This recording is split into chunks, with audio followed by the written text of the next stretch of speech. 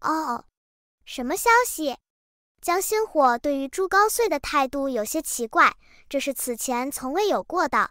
如果是永乐帝让他告诉自己的消息，那么他不会让自己来发问。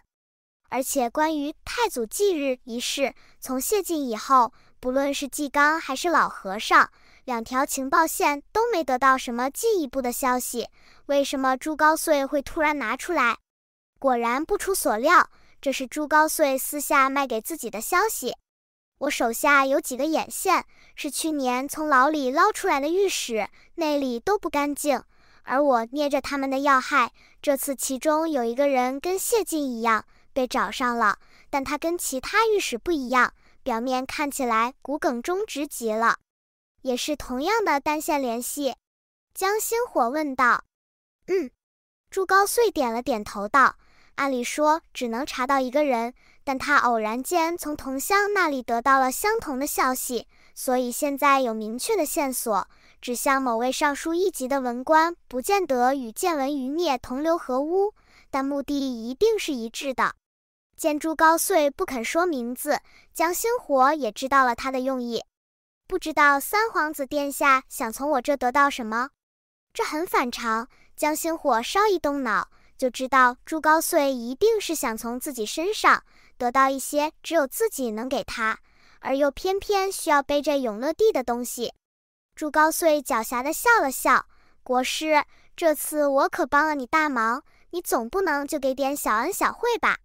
江心火也跟着笑了起来：“好啊，你想当太子？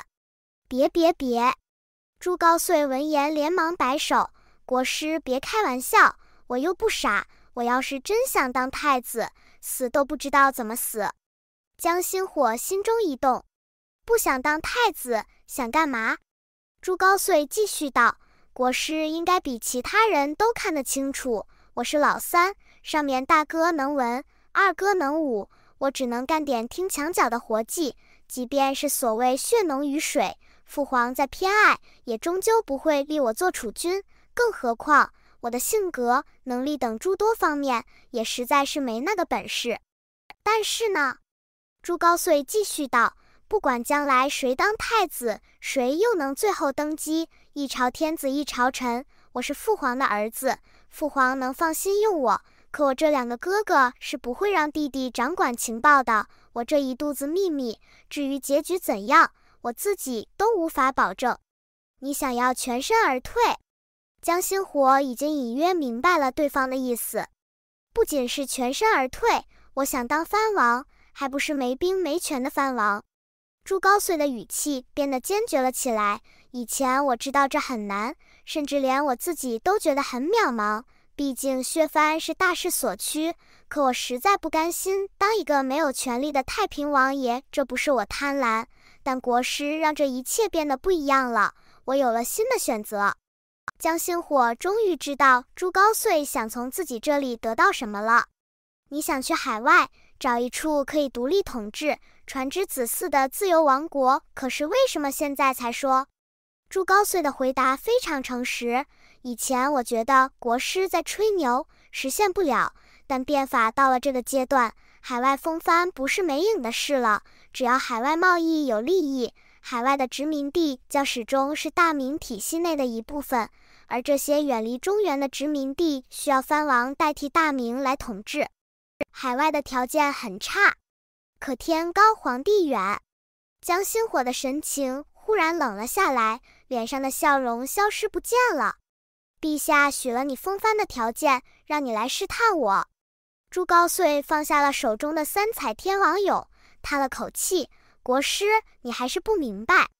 我确实不明白。”这种事情是陛下最后做决定的，你想要的只需要向陛下要即可。找我问，让我帮你又有什么用？江心火看着他问道：“因为陛下不会让我离开，原因你讲过的，倭寇分银，我们都是这一环上的，谁都不能走。”朱高燧的神情有些苦涩。父皇不会让任何人威胁到他的权利。他器重二哥，是因为只有二哥能制衡大哥，不威胁到他的权利。他重用我探查着所有人的秘密，不是因为我的能力比纪纲出色，也不是因为父皇更喜欢我，而是这样才能让大哥和二哥都对他俯首帖耳。朱高燧的反常让江心火警觉了起来。江心火与他并无太深的交情，为什么对方会跟自己说这种很犯忌讳的话？还有一个人呢？江心火问道。詹基。朱高燧肯定地说道：“等詹基长大了，他一定会得到父皇的喜爱，也一定会钳制着我们这些叔叔，直到父皇驾崩，这个互相钳制的局面彻底失衡。到时候就是各凭本事了。到底是为什么？”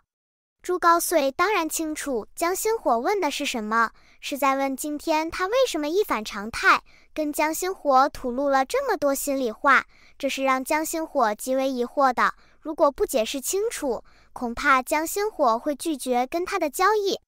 二哥昨晚邀请我喝酒，喝到酩酊大醉的时候，我吐出了心里的疑惑，问他为什么从诏狱里出来，就像是换了个人一样。二哥告诉我，是因为他遇到了国师你，国师你能预测未来，告诉了他一个他无法接受的未来，所以他必须要改变。二哥没告诉我这个未来是什么样子。但我很清楚，我的结局一定也不好。我不再预测未来了。”江心火说道。朱高燧点了点头道：“我知道，成国公那件事很让国师你心里不舒服。”江心火没有解释。既然对方是这么想的，那倒也不妨顺水推舟。实际上，是因为随着他这个穿越者的蝴蝶翅膀来回扇动，卷起的风暴越来越大。已经将历史线改到到了另一个方向，他已经无法预测被自己干扰后的未来，而未来历史线上的人物和事件出现什么幅度的偏差，江星火都不会意外了。你也说了，你是这一环上的，不能走。我不是不可替代的，纪刚可以替代我。随后，朱高燧从袖子里抽出一张纸条，递给了江心火。朱高燧再次诚恳地说道：“国师，指条路吧。”江心火看了看上面的名字，终于开口道：“安南北部的红河三角洲要划到大明治下，成立第十五个布政使司交趾布政使司，而安南其余的国土会交给陈天平重建陈朝，进行傀儡统治。朝鲜会全部吞并，效仿元朝建立征东行省。”成立第十六个布政使司高丽布政使司，日本会割走几片地方后彻底肢解，但日本的人口实在太多，需要潜移默化的削弱，在未来一定是以挑拨日本驻藩、不断厮杀为主，无法建立布政使司。吕宋和天竺是以藩王分封形式统治，吕宋短时间内就能拿下来，天竺要慢慢打。而且天竺会直面北部帖木儿帝国的压力。如果真有那么一天，大明决心打天竺，帖木儿帝国不会放任不管。国师，帮我脱身，不管用什么方法说服父皇，让纪刚代替我。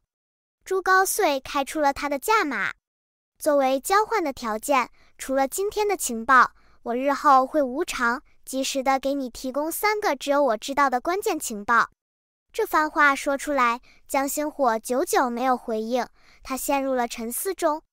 这件事他一时半会儿很难做决断。朱高燧也没打扰，耐心等待。良久，江星火看着一心想润的朱高燧，缓慢的开口：“你可想清楚了？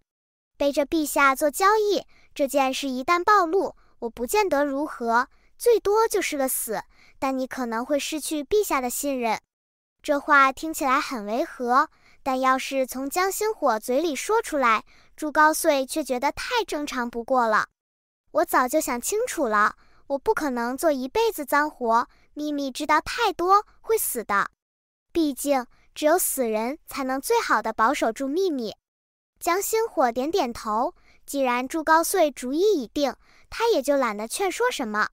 毕竟朱高燧是朱家的皇子，虽然大家都是好用就被往死里用，但永乐帝再怎么也不会杀他，这是毋庸置疑的。现在的情况无非就是朱高燧被永乐帝用着太顺手，知道的秘密又太多，自己在给自己谋后路。江心火沉默了片刻，我会试着帮你去海外风帆建国。有国师这句话就足够了。朱高燧如释重负。随后，他似是想起了什么，又从袖子里摸出了一张纸条，说道：“父皇还有个问题要问国师，关于如何让甘肃的城池和堡垒更好的防御火炮和火药。这是什么意思？把我当百度？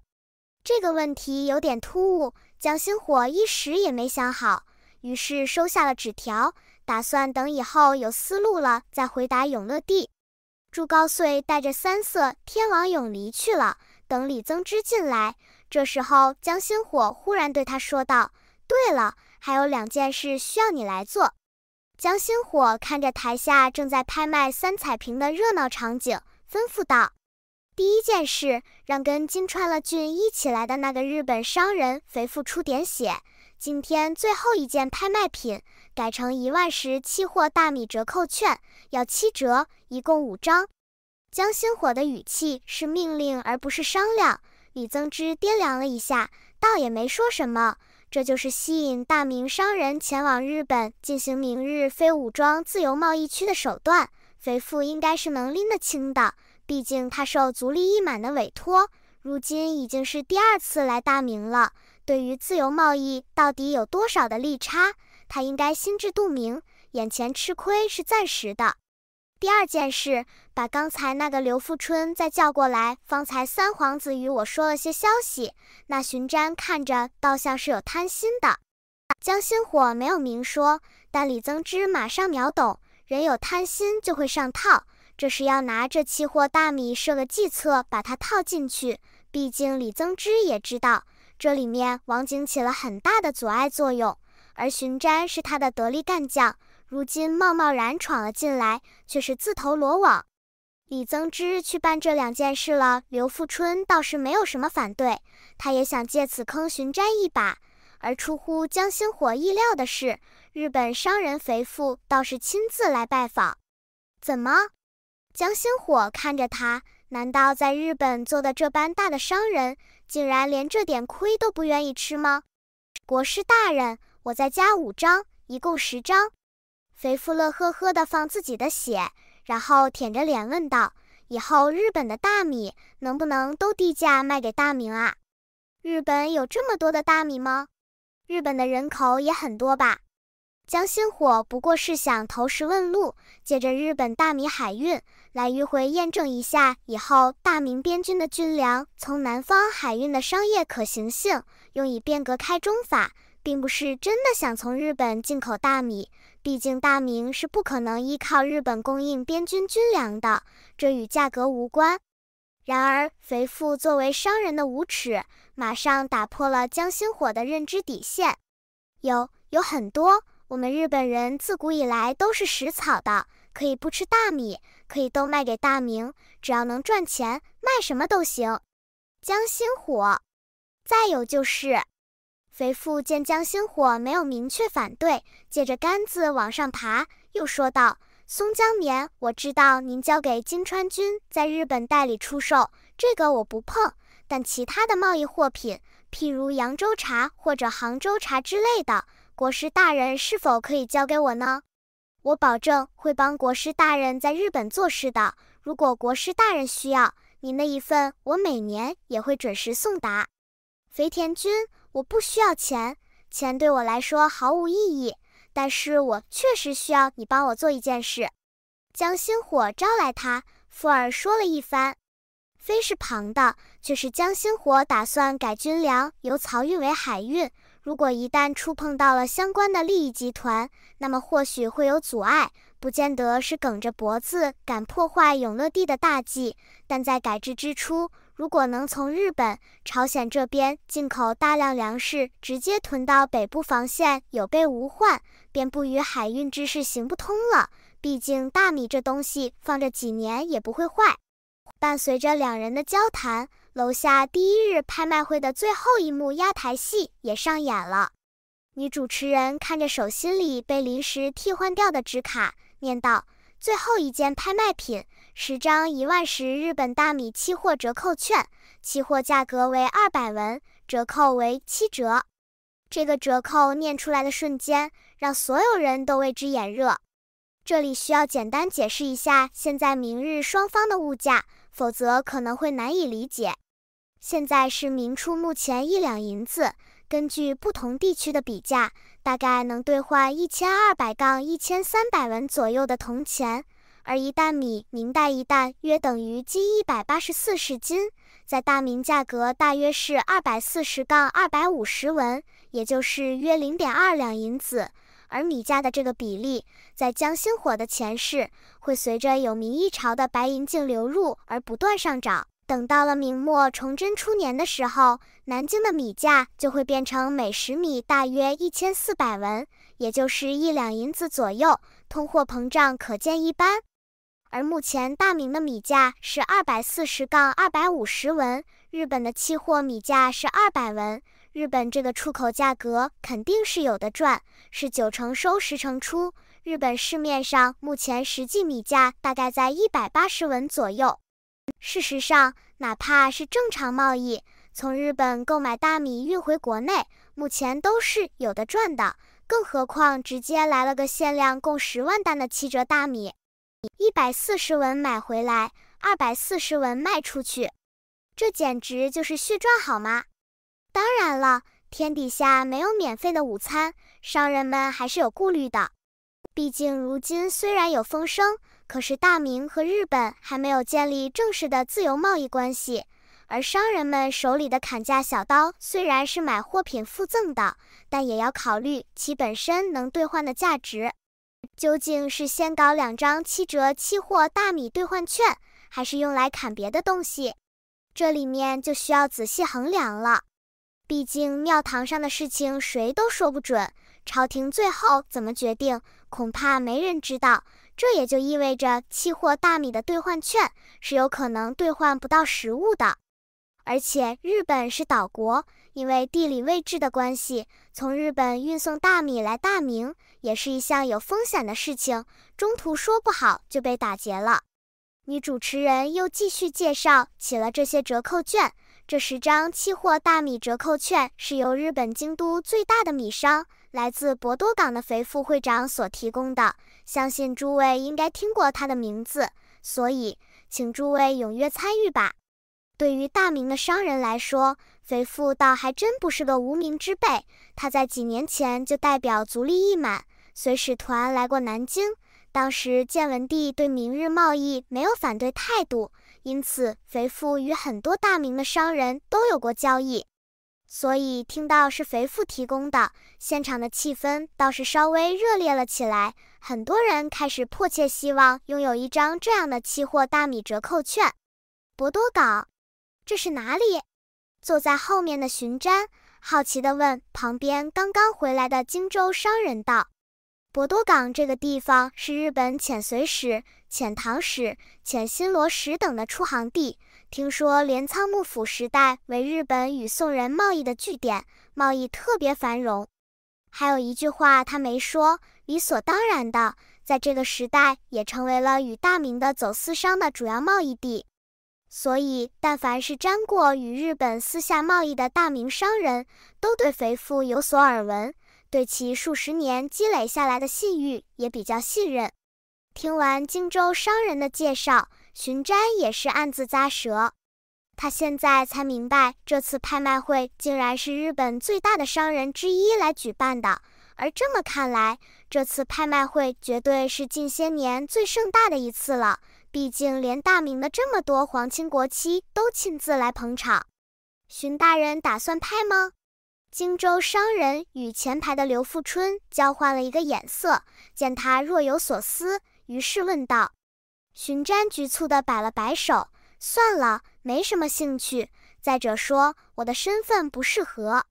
一担米净赚一百文，一万石净赚一百万文。”这里拍下的一张期货大米折扣券，约合八百四十两银子，是荀瞻五年不吃不喝才能攒下的。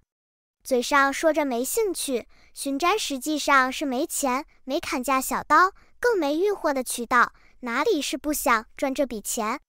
可怜荀瞻已经是中高阶文官了，然而以鸿胪寺少卿管理会同馆时，没什么使团来朝贡，压根没赚到钱。而国子监虽然不算传统意义上的清水衙门，但有专门的厅和官吏负责财务。司业作为副职，其实根本没机会捞钱，所以荀瞻才会对王景给出的余衡清吏司主事一职非常眼馋。毕竟男儿大丈夫，既然有了权。怎么还能让自己过穷苦日子呢？就在荀瞻心头遗憾的时候，方才那名姓刘的商人却忽然猫着腰来后排找到了他，一脸谄媚地说道：“方才不晓得荀大人的威名，是在下失礼了。”而后刘富春却是低声表示，自己打算跟荆州商人一同干这票日本大米的买卖。并且邀请荀瞻挂个名，在官面上帮他们避免些麻烦。为此，刘富春愿意支付一笔不菲的兵境。这不太好吧？荀瞻迟疑道：“荀大人放心，我们绝不会用您的名号来做别的事情的。只是我们官面上不认识像您这么大的人物，总算是我们三生有幸。”荀瞻想了想，自己被曹润一顿饭就吃瘪的荷包。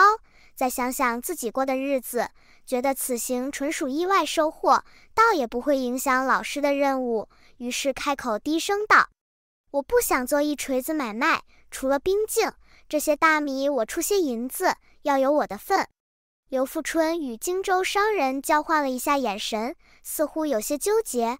毕竟对方说是出银子，但只是象征性的。可最后分钱的时候，绝对不是象征性的。然而最终两人还是点头应承了下来，并约定好到巡瞻府上拜访。而巡瞻自以为找到了财路的时候，关于期货大米折扣券的竞拍也愈发激烈了起来。因为是十张券，所以拍卖十次。而这种博弈注定了没人能控制住场面，有人想先下手为强，也有人在等别人先拍前面的，自己捡后面的便宜。可惜这两种想法的人多了，难免会撞到一起挤兑。随着期货大米折扣券的数量越来越少，竞争也愈发激烈了起来，火药味都有些浓郁了。而眼瞅着到了最后一张，巡瞻也有些坐不住了。五十把砍价小刀，真是疯了！明天拍不好吗？这是谁呀？看着面生，应该不是南京本地人士吧？否则就不敢跟金素公子叫出这样的高价了。我认识他，北面来的晋商，跟蒙古人应该也有交易。他既然开口叫出了这样的高价，看来确实势在必得。不知道谁能竞争得过他呢？嘿！你当王半山是跟你开玩笑的？周围的人纷纷议论道，而台上的女主持人也微笑着对那矮胖的男子看了过去。那男子脸上挂满了得意的神情。这时他又朝周围看了看，挑衅般看着其他几人。被这人挑衅，另外几人也忍耐不住了。九十九刀，王真庆眼皮都不眨一下。矮胖男子怒目圆睁。咬牙切齿地盯着台上的女主持人，说道：“一百刀，我出一百刀。”他说完，还看了一眼王真庆，含义不言而喻。王真庆是朱元璋的外孙不假，但这晋商也是有背景的，跟着豫州系的几位侯伯拜在了齐国公邱福门下，手下武装商队又跟蒙古人做边塞贸易做得飞起，属于那种两边吃的类型。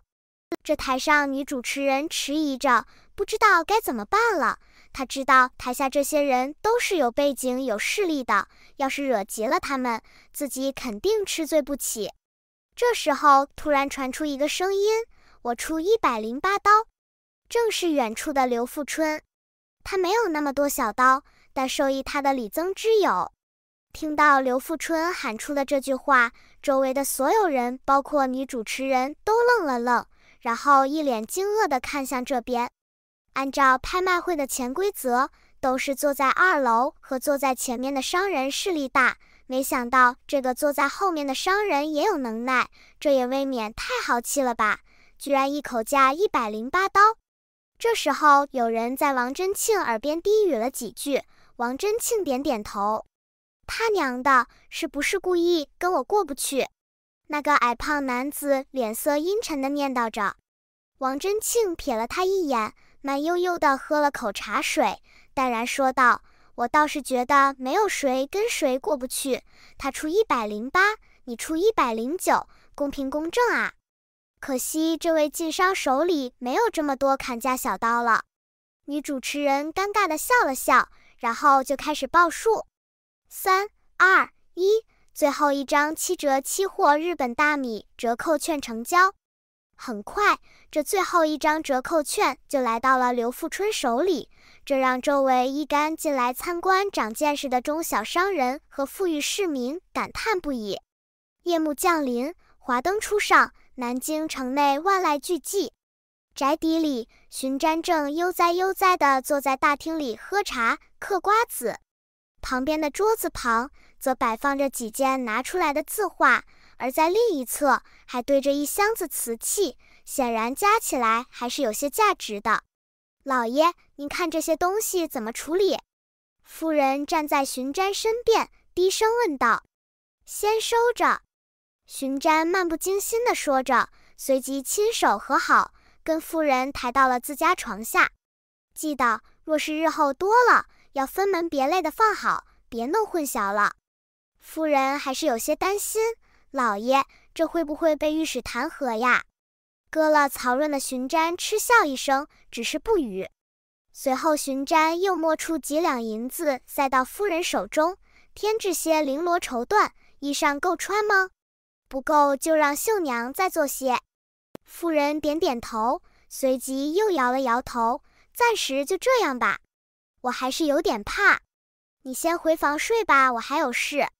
荀瞻盯住了大厅外面的月亮门，过了半晌，一名仆人跑了进来：“老爷，外面有人找您。”荀瞻微微眯起了双眼，他并未询问何事，径直走出大厅门口，顺势往院墙方向眺望了一眼，果真有一辆马车停在那里。那辆马车的前头挂了灯笼，将黑暗驱逐掉了一些。马车上坐着一名男子，似乎是在闭目养神。他的打扮颇为朴素，身上披着厚重的衣袍。荀瞻吩咐道：“我去去就回。”待荀瞻上车不久后，那马夫拉动了马匹的缰绳，马车缓缓驶动。他的恩师王景正坐在里面。今天如何？马车刚行驶没多久。王景便主动开口发问，言辞之间很平静。见了邢科给事中曹润，没谈拢。我还去了拍卖会现场。荀斋也是干脆利落，略去了自己跟商人做交易的事情后，把拍卖会现场发生的事情原原本本讲了一遍。随后，二人便陷入沉默。马车继续前行，不知道过了多久，才听到了王景略带疲惫的话音。江心火的应对确实出乎了我的意料。说到此处，他顿了一下，脸色变得十分难看，像是想到了什么糟糕的事情。所以这次我必须争取机会。您的意思是？王景睁开眼睛，望着车帘外。太祖忌日，我听到一些风声。恩师，你想要参与吗？是。王景叹息一声，我也快到致仕的年纪了。若是不能再进一步，恐怕以后就没有更好的机会了。如今民间士林的舆论虽然导向了变法，但庙堂上毕竟还没有定论。考成法已经开始在京中各部寺初步试行，不说考成的各项标准，就是那些办事的规矩，都惹来多少怨愤。可是陛下已经决意要变法，何必在乎这些？你根本不明白。王景冷哼一声，显然对这种话极其厌烦。你以为这是一桩简单的生计，或者一个职位？这关系甚至牵扯到整个朝堂的格局，需要一个新的契机来翻盘。太祖忌日正好可以借力。他转头看着窗外，眸光透露出某种坚毅之色。唯一的机会了。